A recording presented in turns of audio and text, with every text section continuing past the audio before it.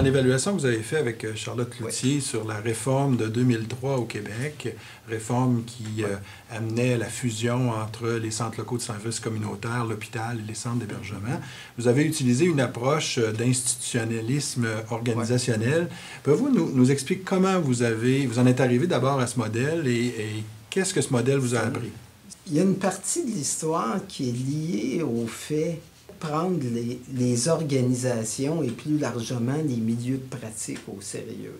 C'est-à-dire, euh, moi, je suis quelqu'un qui vient plus initialement de l'analyse organisationnelle, puis par intérêt, euh, je dirais intellectuel, remonte progressivement au monde des politiques publiques. Et ce qui frappe le plus lorsqu'on regarde des travaux sur les politiques publiques, c'est l'implantation, quelque chose qu'on mentionne à peu près dans tous les modèles, mais c'est très rarement regardé et analysé finement, en fait. On suppose qu'en quelque part, des organisations vont suivre si on a résolu le problème politique de l'appui à une réforme. On suppose qu'on peut, au fond, décréter le changement quelque part, qu'il va y avoir des petits ajustements, puisqu'une politique, c'est jamais implanté parfait. Mais ça, ça va de soi, c'est presque une loi de la nature. Nous, ce qui nous a intéressé, c'est de dire si on ouvre cette boîte-là euh, euh, un peu plus attentivement, de, je vais dire organisation, mais vraiment, voyez-le plus large, des milieux d'implantation. Ça peut être les réseaux, ça peut être des communautés. Euh, si on ouvre plus cette boîte-là, qu'est-ce qu'on y trouve? Et là, vous avez un premier volet des travaux des institutionnalistes qui ont beaucoup porté attention à ce que je soulignais tantôt, les entrepreneurs institutionnels, qui sont des espèces de champions ou championnes qui pilotent des innovations. Ça peut être en réaction, en lien avec des politiques publiques, comme ça peut être à la marge, et c'est souvent comme ça des systèmes innovent. Mais on s'est intéressé à un autre courant plus récent des institutionnalistes qui s'est appelé euh, euh, le travail institutionnel. C'est-à-dire, qu'est-ce que les gens font au quotidien lorsqu'on leur dit, vous allez développer la responsabilité populationnelle, qui est un ingrédient de la réforme 2003. Vous allez travailler à l'intégration des soins et services. Qu'est-ce que ça veut dire pour eux concrètement? Et là, je reviens à ce que je disais tantôt pour des acteurs dans le contexte que vous évoquiez tantôt, qui n'ont pas en main un livre de recettes tout écrit. C'est même pas juste un problème de prescrire. La première chose auquel ils font face, c'est de dire qu'est-ce qu'ils veulent exactement mhm. dire par responsabilité populationnelle? Et la deuxième question qui se pose, c'est qu'est-ce que ça peut vouloir dire pour mon contexte qui est différent sur l'île de Montréal, de la On s'est intéressé à, ce courant-là, qui est aussi un courant très, très, très développé, je dirais, en dehors de la littérature, c'est politique publique, qui s'est appelé en sciences sociales euh, le, courant de l'étude des pratiques. en anglais, le mot est plus facile. Ça s'est appelé le practice turn en sciences sociales, incluant en analyse organisationnelle où l'idée de base est très simple, c'est les, les, changements, qui soient en réponse à une politique publique ou autre, prennent forme à travers l'action quotidienne d'acteurs qui sont dans des positions différentes de l'influencer au sein d'une organisation. Concrètement, la personne qui coordonne euh, programme clinique autour, je ne sais pas, personnes âgées, par exemple, dans un C3S à l'époque, bien, elle va, à sa façon, euh, façonner ce que va représenter l'intégration des soins et services et la responsabilité populationnelle. Dans, dans l'article, dans l'étude qu'on a fait avec Charlotte, puis l'article euh, Cloutier et Anne, il y a une attention particulière portée à ce qu'on a appelé les, les gestionnaires qui sont dans une position intermédiaire, c'est-à-dire qui d'un côté sont entre guillemets au sommet des organisations de santé et d'un autre côté, ils, interagissent avec euh, le, le, ministère de la Santé, le pouvoir public et les agences à l'époque. et on s'est intéressé à, leur capacité d'action. Et là, il faut comprendre autant les directeurs généraux ou directrices générales que leur équipe, que les leaders cliniques, que des coordonnateurs de grandes unités de production. Et là, on s'est intéressé à ce qu'ils faisaient au concret à travers euh, ce qu'on fait habituellement, des genres d'ethnographie organisationnelle. On interviewe les gens, on lit des documents, on observe des réunions. Là, on, s'est intéressé à, quatre types de tâches. En anglais, on appelle ça institutional work, qui font pour non seulement euh, exécuter une réforme, mais y donner un sens puis la rendre au fond possible dans leur milieu. Une première chose, puis ça, on est très familier dans les politiques publiques et par extension des réformes, c'est ce qu'on a appelé le travail structurel. Mhm. C'est-à-dire comment je dessine mon organisation si on me dit que j'ai un double nouveau mandat, intégration des soins et services, responsabilité populationnelle. Et là, on s'est intéressé au dilemme euh, qui, qui a été observé dans tous les milieux qu'on a regardés, c'est lorsqu'on parle aux acteurs, ils sont euh, responsables de ces structures-là. Idéalement, et euh, je dirais rationnellement, ils disent, ben, si on faisait vraiment de la gestion raisonnable, on attendrait d'avoir développé notre vision de la responsabilité populationnelle et de l'intégration des soins et services avant de dessiner ma structure, qui est mon véhicule pour l'exécuter sur le plan formel. Mais la pression est tellement forte pour reconfirmer des gens dans leur position, pour tenir compte de groupes influents dans l'organisation, qu'on pousse à une formalisation assez précoce de la structure. Puis après, on fait des essais et erreurs. Et c'est pour ça qu'on met dans le papier que c'est récursif, qu'il faut s'y remettre et tout ça. Ça, c'est un aspect, mais qui est important, qui est très important, ce qui envoie des signaux aux acteurs. Si vous faites, euh, pour exemple, une direction qualité dans un établissement de santé, vous envoyez le signal que la qualité est importante. Ça ne veut pas dire que c'est le meilleur moyen de l'atteindre mais vous envoyez un signal aux acteurs et vous confortez aussi le rôle de certains groupes dans une structure. Donc, ces éléments structuraux-là s'opèrent en même temps que les éléments conceptuels qu'on est en train de définir. Ouais. Ouais. et là, on essaie de se dire, euh, on est dans l'organisation, puis on dit, OK, on dessine la structure, mais il faudrait quand même avoir en parallèle une idée claire qu'on a appelée le travail conceptuel, du sens de cette réforme-là et qu'est-ce qu'on veut faire avec chez nous. Et là, là, il y a toutes sortes de phénomènes qui se passent, c'est-à-dire, euh, puis si on se replace en 2003, le 2004, puis évidemment, je caricature, mais la plupart des organisations disaient Mais qu'est-ce, qu'est-ce que ça veut dire, puis qu'est-ce qu'on va faire avec ça? C'est quoi cette histoire-là qu'on nous envoie, la responsabilité populationnelle? Et même au niveau de l'intégration des soins et services, qu'est-ce qu'on attend de plus de nous?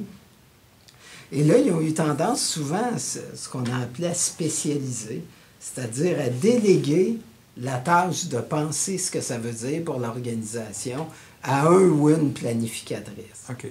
un groupe de tâches. Oui. Ouais. Là, vous avez un bureau qui fait ça, mais l'enjeu après, ça va être de connecter sa compréhension au reste de l'organisation. C'est pour ça qu'on a dit, entre autres, dans l'article, ça peut devenir euh, réifié et séparé du reste. C'est-à-dire, vous avez une vision, on s'est entendu, on l'a mis dans un document, mais quand vous parlez aux gens responsables d'offrir soins de service, ils disent, c'est pas clair pour moi. Et un des messages de cette étude-là, c'est c'est la répétition qui peut être lourde dans une organisation, des réunions pour expliquer, c'est un passage presque obligé. Et vous euh, et euh, on, le présente dans l'article, vous avez beaucoup de gens qui disent au fond, ça fait trois, quatre fois qu'on se réunit là-dessus, mais aujourd'hui, je pense que j'ai compris. J'ai compris. Puis lorsqu'ils disent ça, ils disent j'ai compris ce que ça peut vouloir dire pour mon contexte de travail, mon unité et tout ça. C'est pas de la résistance au changement, c'est, c'est très difficile d'agir en fonction d'une idée quand on ne sait pas ce qu'elle peut vouloir dire pour nous.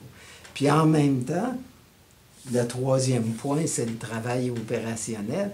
C'est tant que tu n'agis pas, tu ne sais pas vraiment ce que ça veut dire. C'est-à-dire, on le sait, on a, dans des organisations au sens large, on apprend dans l'action. C'est-à-dire euh, à en parler aux autres, puis à essayer de le faire. C'est-à-dire, si on prend au sérieux la responsabilité populationnelle, peut-être je vais étendre la fonction euh, d'outreach dans mon programme, puis qu'on ne l'a jamais fait tant que ça dans la communauté. Qu'est-ce que ça veut dire concrètement? Puis là, puis là, se développe toute une cascade de conséquences. C'est-à-dire, là, on est vraiment dans, comme le proverbe, le diable est dans les détails, c'est-à-dire euh, faire de l'outreach, ça suppose changer les horaires de certains mm. qui travaillent dans la communauté ou qui seraient appelés à y aller. C'est pas vraiment dans la description. Et la convention collective ne prévoit pas qu'il fait ça. Et là, vous êtes dans des choses qui paraissent tout simples et qui peuvent prendre des mois. Et c'est là aussi que ça devient ce qu'on a appelé euh, extrêmement transactionnel, le travail opérationnel, c'est-à-dire, si on se réunit autour d'une table, je suis assez persuadé qu'après deux, trois heures, on peut s'entendre sur des grandes idées qui sont attractives, qui sont motivantes, qui sont nouvelles. Mais là où on risque de moins s'entendre, c'est dans la vraie mise en œuvre, quand ça modifie nos rôles, les ressources qu'on contrôle, la façon dont euh, une autre personne va regarder mon travail. Et tout ça, c'est le travail opérationnel, ce qui donne souvent un effet de fragmentation, c'est-à-dire l'implantation d'une réforme, ça va procéder souvent au concret par petits pas, avec toutes sortes d'essais opérationnels, qu'on peut dire c'est des expériences dans un contexte donné. Puis un des rôles des, des gens en gestion, c'est d'essayer d'harmoniser tout ça, puis de faire que ça va être moins fragmenté, puis de faire des gains vers les objectifs qu'ils poursuivent.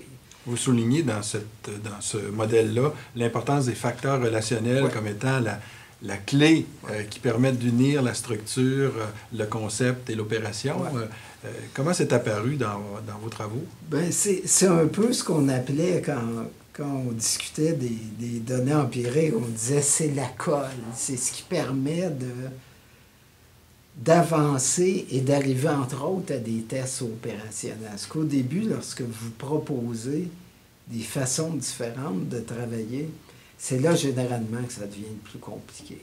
là, vous, êtes, vous avez besoin de développer de la confiance et aussi euh, ce qu'on appelle de la connaissance mutuelle, c'est-à-dire si mon, programme, c'est maladies chroniques, va désormais interagir beaucoup avec une ressource communautaire à l'extérieur, bien, je dois comprendre ce qu'ils font. Je dois comprendre ce qu'ils vont apporter, eux, la même chose. Ils doivent être convaincus qu'à travailler avec nous, on ne va pas chercher à juste les utiliser et les transformer, qu'ils vont garder leur identité, leur façon de faire qu'on va être capable de s'entendre sur des problèmes communs, euh, des cibles d'action communes prioritaires, puis nos actions vont être prévisibles. Donc, tout ça, il y a du relationnel là-dedans. Et ça, ça prend du temps à construire. Et un des résultats de l'étude, c'est que finalement, tout ce travail-là institutionnel pour mettre en œuvre une réforme a avancé plus à l'interne des C3S que dans les réseaux avec des acteurs qui ne faisaient pas partie de la structure. Parce que là, vous avez le communautaire, vous avez les cliniques mm-hmm. médicales. Et là, la confiance, la connaissance mutuelle et aussi l'idée qu'on pense que ce que vous allez apporter est, compétent va contribuer est extrêmement important. Et tant que les gens ne sont pas convaincus de ça, là, ils peuvent dire qu'ils sont d'accord, mais ça ne bougera pas vite au niveau opérationnel. Et comme ça prend du temps, euh, souvent, les acteurs changent de poste. Et donc tout le travail conceptuel est à, continuellement euh, à refaire, Et, à réaffirmer. Et c'est pour ça, nous, on dit que c'est comme, euh, un processus, une forme de dialectique où il se fait des choses, ça a des conséquences sur la suite. Certains acteurs vont quitter, ça peut être pour toutes sortes de bonnes raisons. Là, vous devez recommencer certaines choses et vous savez jamais comment ça va se passer. Et c'est pour ça aussi qu'une des implications de ce travail-là, c'est de ne pas changer constamment les structures. Parce que les structures, ça dessine un terrain de jeu. Après, il y a tout ça qu'il faut qu'il se passe. Vous changez les structures, vous vous remettez à travailler ces structures, et là, le travail conceptuel, opérationnel est mis de côté, et juste pour stabiliser une structure, vous avez énormément de travail relationnel à faire. C'est une voie d'infusion. Donc, moins de, de, 15 ans plus tard, on arrive avec une nouvelle réforme de structure au Québec en 2015 euh, qui va, en quelque sorte, fragiliser euh, jusqu'à un certain point l'approche populationnelle et l'intégration des services qu'on avait euh, mis péniblement en, œuvre depuis 2003. Et là, je pense si on discute avec les gens qui pilotent ces structures-là actuellement, ils vont arriver à un jugement comme au milieu. Ils vont dire il y a des choses que l'intégration actuelle, au fond, c'est des petits systèmes régionaux intégrés dans la structure, pas nécessairement dans les autres aspects. Ils vont dire, ben ça, par exemple, dans le domaine jeunesse, je ne pouvais pas le faire aussi aisément que maintenant.